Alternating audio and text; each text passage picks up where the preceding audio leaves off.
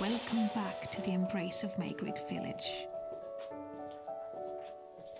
But before we dive into the festivities, let me share a secret with you. A tradition that has sailed through generations and embodies a symbol of Christmas in this country.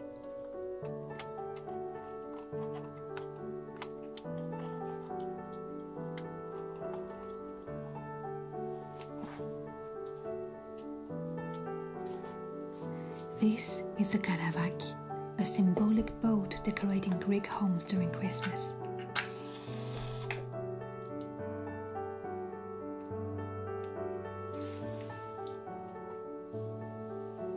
Originating from the Aegean Islands, it represents the journey of St. Nicholas, and families are meant to light it on Christmas Eve, guiding him to their homes.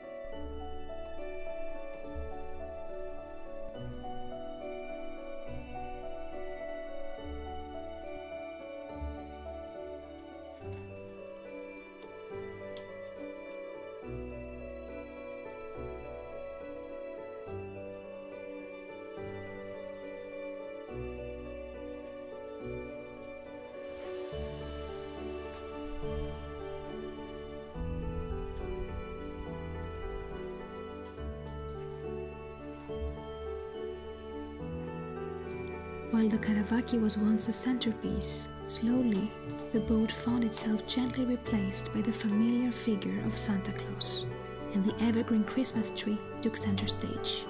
Yet in our Greek traditions, Santa wears the face of Saint Basil, and his arrival heralds not Christmas, but the dawning of the new year.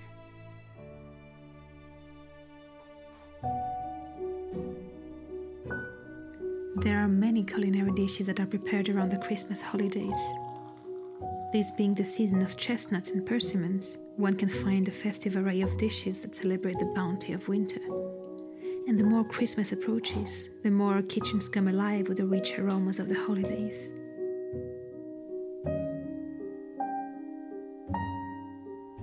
Forget the standard Christmas cookies. Here, we indulge in kourabiedes, small, dry almond cookies adorned with a dusting of snowy sugar.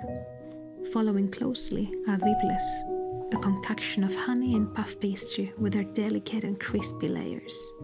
And finally, we have melomakarona, where each bite is a symphony of honey, cinnamon, orange, and nuts. It is also the favorite treat of a small and very mischievous creature.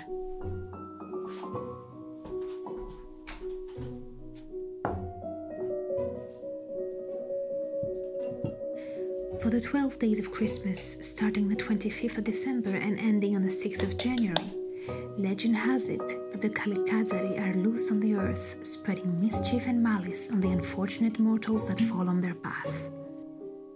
Every child knows the story. The Kalikatzaroi, tiny little demon creatures resembling goblins, dwell in the underworld, sowing the huge tree of life that holds our world together. To cut it down and bring havoc on earth.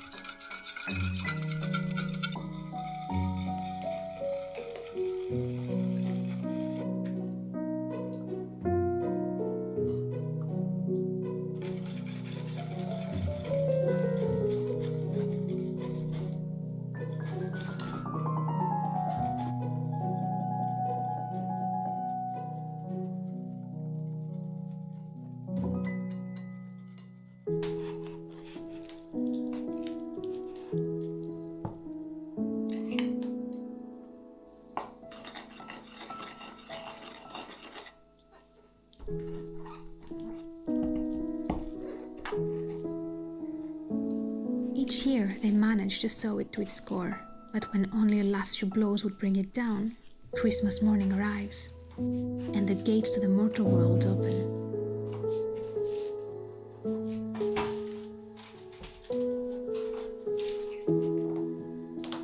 Seizing the opportunity to harass humans, they forget the tree and instead head out to the world, making all sorts of scandals and fooleries.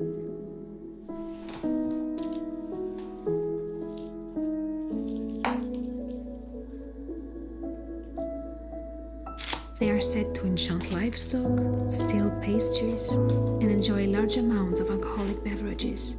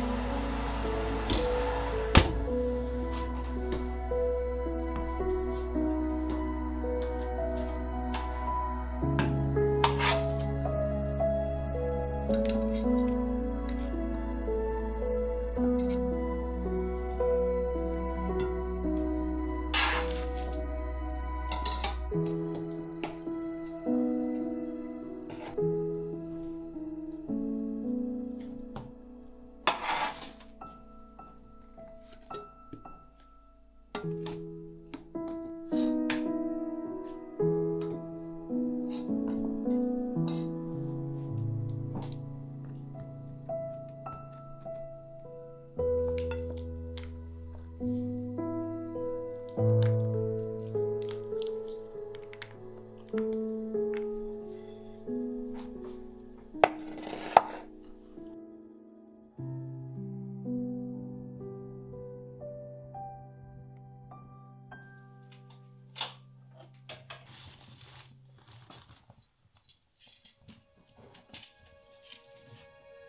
only way one can protect oneself from the Kalikatzaroi eh?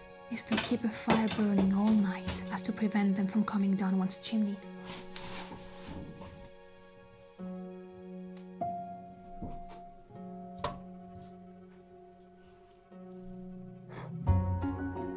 The next morning, once the 12 days have passed, they go back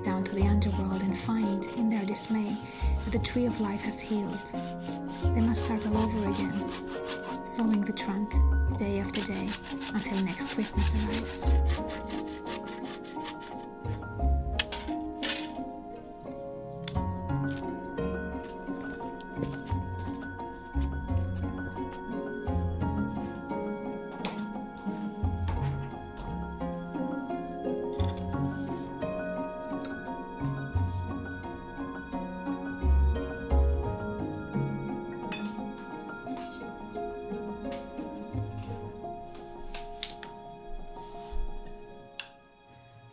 Like the Kalikatzaroi make up a big part of my childhood, and I think it would be a real shame for such vivid folklore to fade away with the years.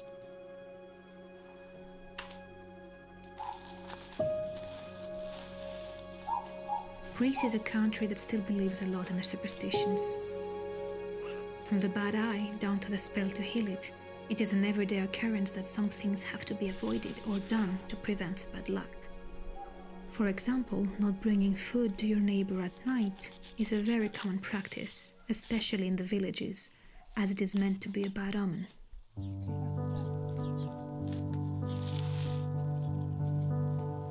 Most of the stories and superstitions, although now have a Christian connotation, go back all the way to ancient Greece.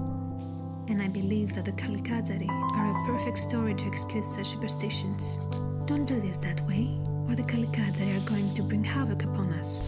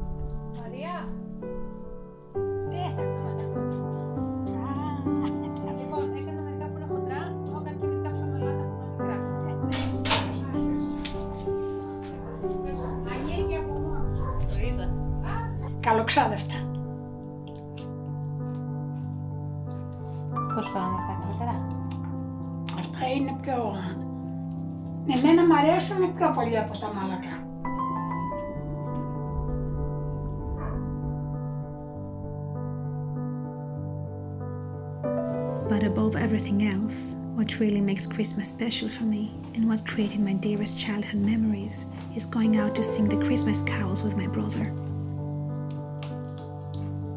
In Greece, the Christmas carols are called Galada and they're a children's activity. We used to wake up around 7 am on Christmas Eve, New Year's Eve, and on the Epiphany, armed with our triangle instrument, and off knocking on people's doors we would go.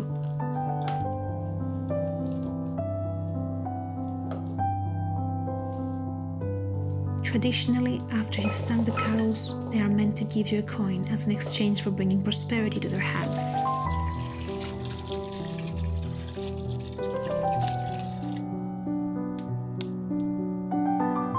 Is nothing more nostalgic to me than knocking on random people's doors and wondering what's on the other side. There is always this anticipation. Are they going to answer? Is anyone home? Are we the first to sing for them today? And then the door opens. People still in their pajamas, holding their morning coffee, smiles on both sides. And for a split second, you get to share with them the Christmas spirit.